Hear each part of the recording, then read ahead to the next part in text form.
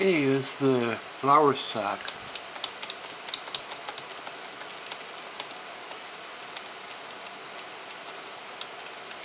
Every program I come across just seems to have some sort of issue. This one's good, it plays very good. You see the screen is very small. But it plays very well.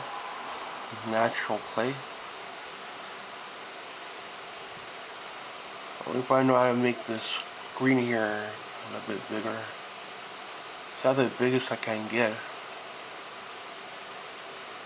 Uh, every stop motion program I try, there's something wrong with it. And it stops me from buying it.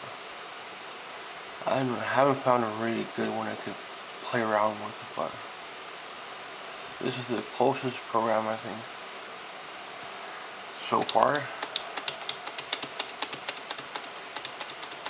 I can import everything all at once, which is really good. But it's very small.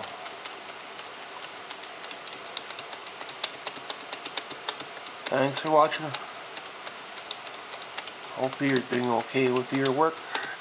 This is my progress.